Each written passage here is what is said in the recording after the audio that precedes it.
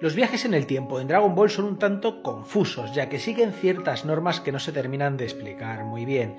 En este caso, la pregunta es, ¿por qué el Trunks del futuro en la saga de Black Goku viajó justamente a la época de Dragon Ball Super y no viajó justo después de que acabara el torneo de Cell? Y es por el mismo motivo por el cual, cuando Trunks viaja al pasado y crea una nueva línea temporal y luego él regresa a su futuro, precisamente va a su futuro y no al futuro de la nueva línea temporal que acaba de crear.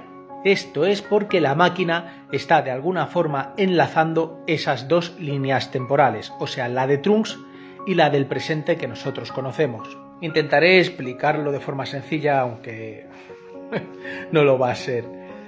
Cuando Trunks viajó por primera vez 20 años al pasado y la máquina quedó ligada tanto al futuro de Trunks como a nuestro presente, lo que ocurre es que ya no pudo volver a reprogramar la máquina, porque si la reprograma se rompería ese vínculo. Por lo tanto, cuando han pasado muchos años en el propio futuro de Trunks hasta el punto en el que aparece Black Goku, cuando él viaja al pasado, tiene que volver a viajar esos mismos 20 años para volver a coincidir en la línea temporal donde ocurrieron los juegos de Cell.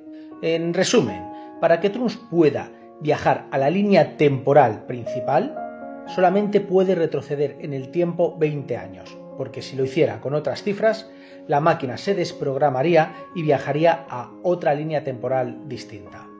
No sé si ha quedado del todo claro. Ya os dije que era confuso.